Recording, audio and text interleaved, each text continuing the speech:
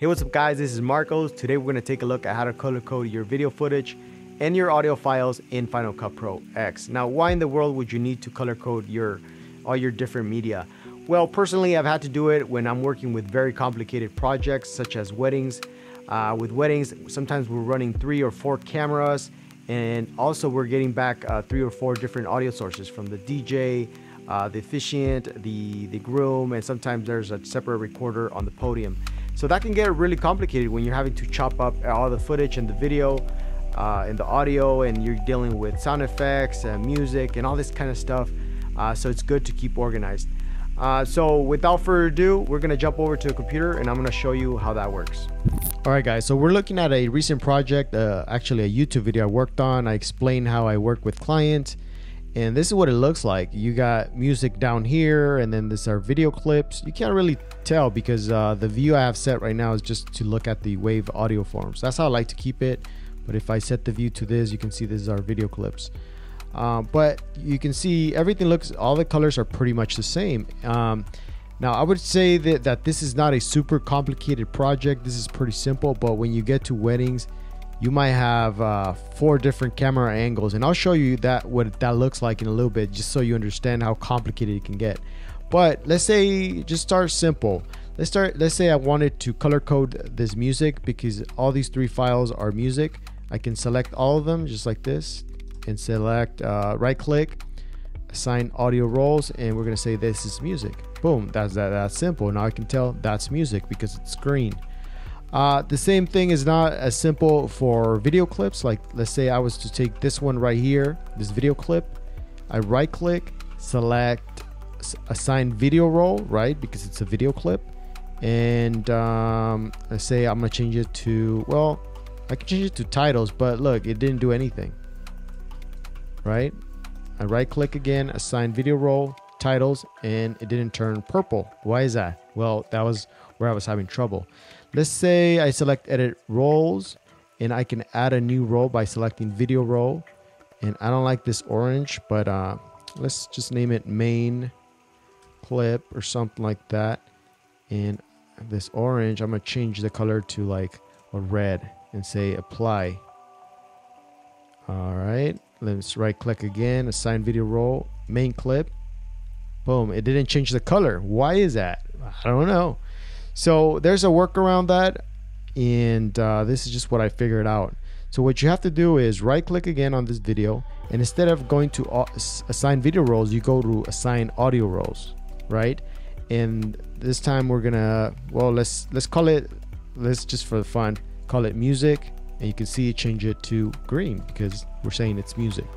But uh, let's say we create a new role, so just so we have a different color. Actually, I'm gonna get rid of this one and select audio role. We're gonna add a new one and call it uh, main clip. We can name it whatever you want, really. And I don't like this orange, so I'm gonna change the color to red. Select apply.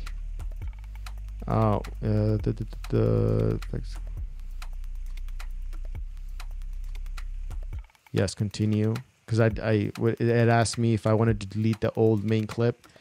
Um, and I said yes and then assign audio roles and we're going to say select main clip. Now you see it's color coded this dark orange or blood red. I don't know what that color is. Uh, so yeah that's simple right? And you can also do it with the adjustment layer. Let's say this is one adjustment layer because i color graded all this video footage down here. And this is a different uh, adjustment layer maybe because my camera settings were different so i just did something different. Um, anyways i can select this adjustment layer and this adjustment layer and this one and this one by holding down command I uh, right click and I say uh, actually for this one I can say it's uh, a video role I don't know why. It's just the way it works out. It's kind of weird. And, and we can select adjustments. And we're gonna change the color because I don't like this color. Sometimes it gives me a hard time. Uh, let's select uh, I don't know. What what what's a good color? No it's too similar to the other purple.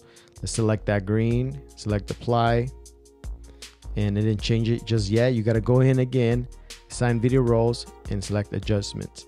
So you can do the same thing with your other stuff like uh, your b-roll footage I, if i wanted I could select like let's say this video clips right here and I'm gonna assign audio roles because these are actual video clips. And remember with video clips, you gotta go into audio roles.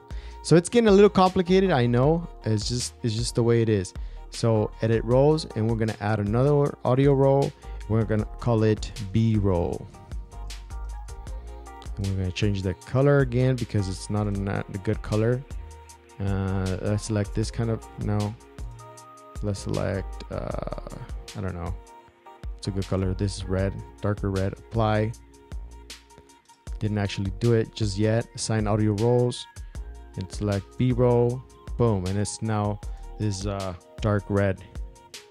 Yeah, that's like I don't know what that color is. Burgundy. I'm not sure. But you see now it makes it easier to understand what you're working with. This is the adjustment layer.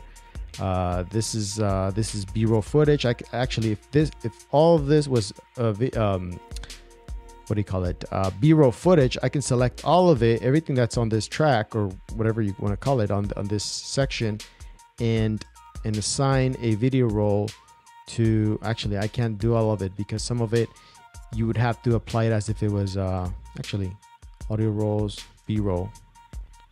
You see now some of it like this custom this is just a custom uh, generator you can't do it you got to sign it as a as a video actually so you see that the rule of thumb is that if the clip or the footage has audio in it then you have to assign it as an audio role if it doesn't you can assign it assign it as a video role before we leave i just want to show you what a wedding would look like so you understand how complicated it can get so let me switch over to that all right so i quickly wanted to show you what uh, a Catholic wedding looks like. This is an hour long, and you got uh, one, two, three, four different cameras and four audio sources. So you see, it can get really complicated because I might be switching to the priest and then to the groom. So it's good to start out by color coding all this stuff, right? So if I uh, before I start cutting up the footage, I can select this audio. Let's say this is officiant. I can select the audio roles, right? Say this is the audio role and let's call it officiant and select a different color again because I don't like that one. Select red, apply. Oh, didn't assign it. You got to do it again. Assign audio roles. Boom. And so you would start doing that for every camera angle just so you know where everything's at, right? And I don't know, I think it's just it's just a better practice to do this if you're working with a lot of stuff as you can see here, just four different audios, four uh four different camera angles. Uh so yeah, that's pretty much it. All right guys, hopefully this helps you out in your next project. Uh, I wasn't gonna make this video because I thought, well, this is simple enough. People might already know about this, but this is something I was uh, having trouble with. I didn't know how to do it. Uh, so I know if I struggle with it, there's probably some people out there who also struggle with it. Uh, so guys, if you want to see more Final Cut Pro X tutorials, please let me know down in the comment section. Also give it a thumbs up. It tells me to make more of this kind of stuff. As always, thank you very much for watching and I'll catch you on the next one.